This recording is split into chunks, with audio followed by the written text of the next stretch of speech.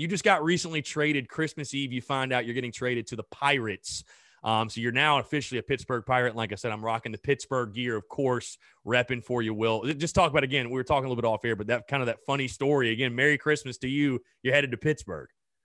Yeah, it's uh it was it was odd. Uh, I we we were thinking it might happen this year. You know, the Nats needed a big bat. You know, they they needed a trade for somebody, and uh, mm. they weren't willing to give up. You know, their their top four or five prospects that were a hitter, and you know, three really really good arms, and they they just weren't weren't one to do that, and that's what all the reports were. So we we kind of thought it might happen, um, but you know, we thought it might happen last year and the year before. Right. So. Um, you know, we're I'm sitting there on my phone. I'm actually watching watching something on Twitch, which is funny, but um, watching something on Twitch, and I get a phone call, and I'm like, okay, this is from the Nats GM. I'm like, well, okay, I don't think he's calling me to just say hello. so I answer, and that's what he says. He's like, hey, I would love this, this call just to be a Merry Christmas, and I hope you have a good holiday, but it's a business call, and um, he said we traded you to the to the Pirates. Um, basically we appreciate what you've done. We can't tell you who it's for because it's not out yet. Um, right.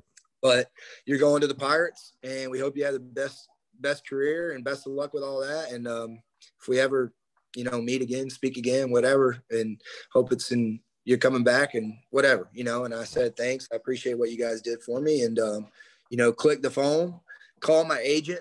He's like, I didn't know that, and he's like to figure out. And you know, I tell my wife, she's like freaking out. You know, she we have a new puppy. Right. And I, I holler at her. I'm like, Hillary, come in here. And she's like, What's up? And I said, I just got traded. And she was like, No way. And I was like, Yeah. It's like, yeah. So it that that day was like a whirlwind. You know, that was at like one 150 and by like 205, you know, the the it's came out in the media and it's all over Twitter. Um, and my phone's blowing up and I'm just trying to, you know, get in contact with the right people and the Pirates GM called and was like, "Hey, we're we're super excited to have you. You know, um, there's a lot of opportunity here, and we want you to win some innings, and we want we want you to be a part of our future, and um, we're we're stoked about having you, and we look forward to getting to work with you in spring." So um, he was like, "It's the holidays. I'm gonna let you go so you can be with your family." So that's how it kind of went, and uh, ever since then, it's been, you know, kind of a transition. You know, I I when I go to the gym, I wear all my Nats stuff, and I'm or not all of it. I usually wear like a Nats shirt or like right. I wear a sweatshirt a lot, but that's what I work out in. I go over there and I have a sweatshirt on, and my Nats is under it, and I'm like, I don't even need this stuff anymore. Like I got there's, I got to get black and yellow and um, all this stuff.